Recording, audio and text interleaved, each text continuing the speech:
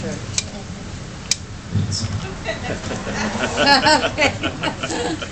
look. Everybody go to Romans.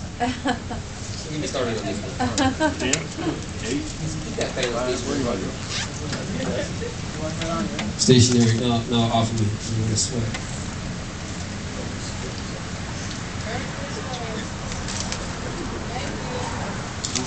Let's go to uh, Romans 5. 21.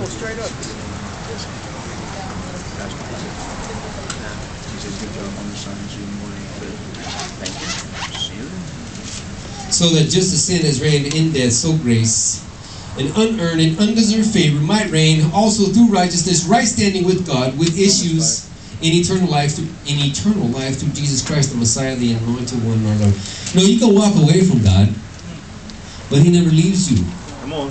He gave His Son one time, and I know a lot of people have a bunch of different views on that, and that's okay to have different views on that, on on eternal salvation. That's okay and you know, and being one, and being God touching you, and that's it. That's all. I personally believe when God lays His hand on you, that's it.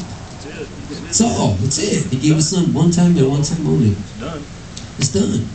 And then we can go. We can walk away from Him if we want to. Yes, we can. He got cho- He gives us a choice. It's heaven or hell. All I know is, man, is I get blessed when I'm walking with Him.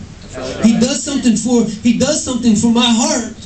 He does something for my wife's heart when, when. You, Come on in when she serves him when we love on people that's serving god when we help people that's that's serving god something happens but when that sacrificial altar we're talking about see we we, we covered last week a little bit of message not, there's a bunch of new faces. And that's why i like this place because it rotates a lot it changes a lot you know what i mean?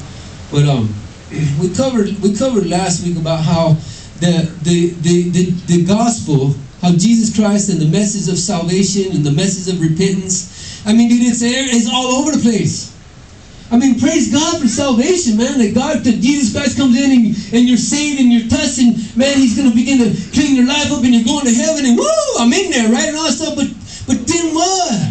After that, Come on after now. you repent, man, and how many times do you got to repent for the same thing? Hello. over and over and over and over again. If you keep on having to repent for the same thing, guess what happens, man? The Holy Ghost that's, that's in you anyhow, once you accepted Jesus, I mean, if that Holy that Holy Spirit touched you. That's what called him to you in the first place, was that measure of faith. That's right. Okay? And so and so every time that you got to repent for doing the same thing over and over and over again. I mean I got I got my ways of thinking about that. I'm thinking if you got to repent for the same thing over and over again, really honestly the truth being as far as I'm seeing is that you really didn't repent in the first place. You didn't really repent in the first place. Come on. You know what I mean? Who didn't repent in the first place? Me? I do the same thing sometimes over and over again, man. I ask God, forgive me, Lord. Please. Sound like Larry the Cable. And then I hear myself going, You don't mean that. Oh. I don't hear the devil telling me that. Come on. That's right. Can I tell the truth in here? Please.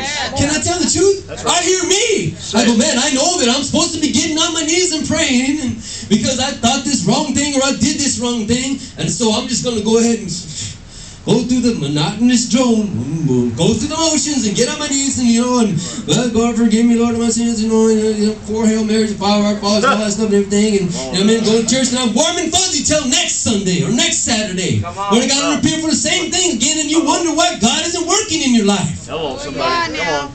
Because you're not working. Man, where's God? Man, I'm going to church and I'm going to church and you know what I mean I'm feeding the homeless over here, man, and you know what I mean, and I'm helping people out and stuff, and you know what I mean, I see God working in all these other people's lives, man, and, but I'm right there too, and my hands are in it, but man, when do I get to get some of that? Come on.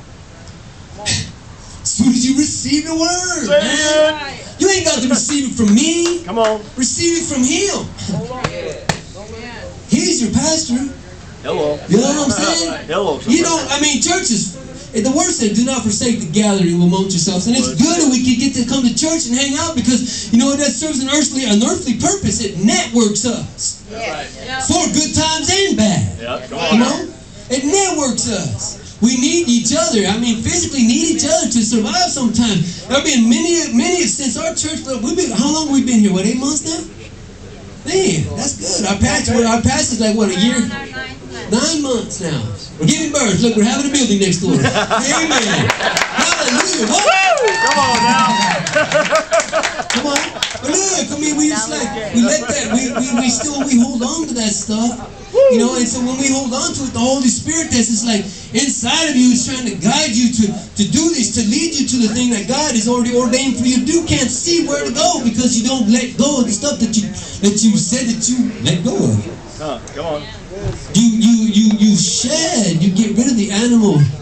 That's what that that's the symbolic sacrificial altar in the beginning in, in, in the in the place of worship. That's what that's for. That's that's that's I'm gonna say I'm not saying that the Bible Bible is allegorical. Does anybody know what that means? Yeah. No. It's kind of like the parable. It kind of like it refers to something. It's like it's like the the one station in front of the temple where the sacrificing of the animals took place. Actually, in depth, what this is what allegorical means, and this is how I'm seeing it for me. And because God put me here, I get to tell you this. I, I'm seeing it that not is it's just not of the bloodletting and the sacrificing of the different kinds of, of animals to, for the atonement of sins, but I'm looking at it as us as individuals, as a as the beast, as a human being having a sinful nature, man, sacrificing my nature of my animalistic nature, my behavior, and some of my always and my, my cussing and hating and lying and stealing and cheating and shooting dope and robbing and, and all that stuff, man, and throwing that in the, on the altar and burning it and getting giving it away and giving it to God so that I can walk through the divine womb, man, the door, so I can come in here and I can praise and worship and hold, man, and I can get some of the word and it can go in me and I can receive and grow and change. Yeah. That makes sense?